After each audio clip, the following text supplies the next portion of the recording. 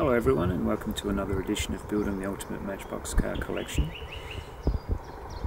Today I want to show you a newbie in the moving parts range.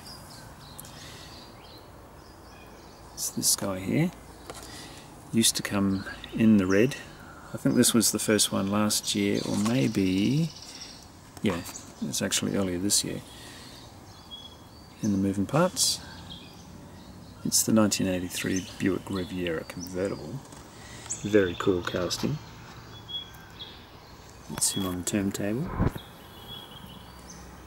Fantastic in the dark red. So good in fact, I bought a few of them.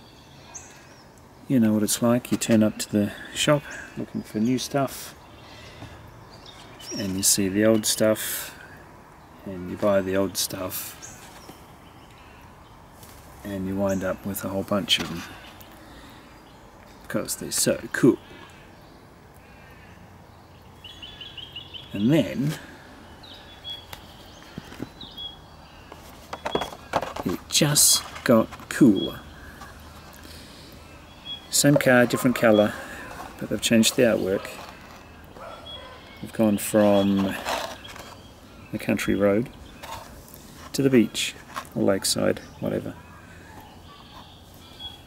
The artwork shows much better wheels than the actual, but same on the original.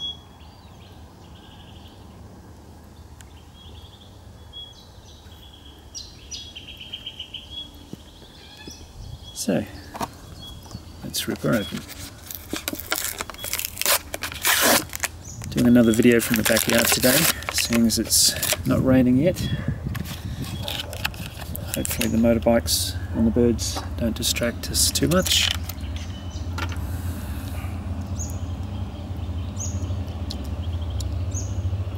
And there it is. So we've gone for the dark reddish brown interior and the pearly white paint job.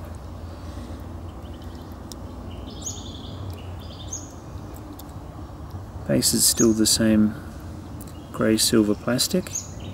Wheels are still the same.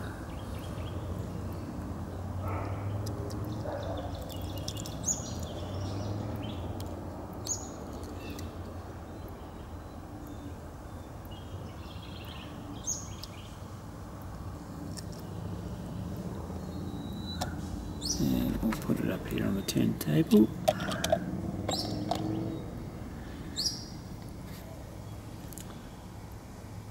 Not sure which is the best one, but they look really good together. Would have preferred the wheels on the artwork. They look stunning. But the actual wheels on the model look pretty good too.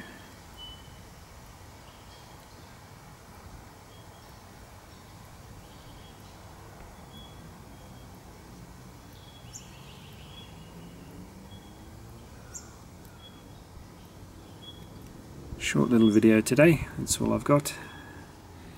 Uh, next video will be some new 3 packs I'll unbox, have a look at those. If you like these videos please subscribe and uh, press the like button and I'll see you next time. Bye!